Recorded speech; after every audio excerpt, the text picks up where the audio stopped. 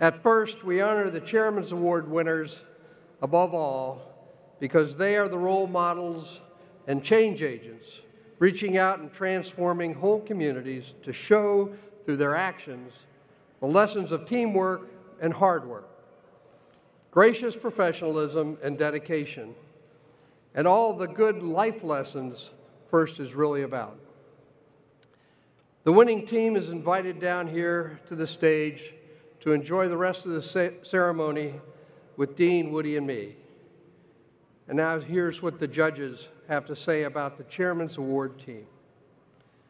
This is a complete team that exemplifies all aspects of FIRST, from its impact on the students, the school, and its curriculum to its strong partnerships with the community, alumni, mentors, sponsors, and the FIRST family of teams. This team has been instrumental in spreading the word of FIRST and STEM through speaking engagements at conferences and technology expos. Through the astounding and diverse resources that they provide to the entire FIRST community, it is clear that this team is the epitome of the goals and missions of FIRST.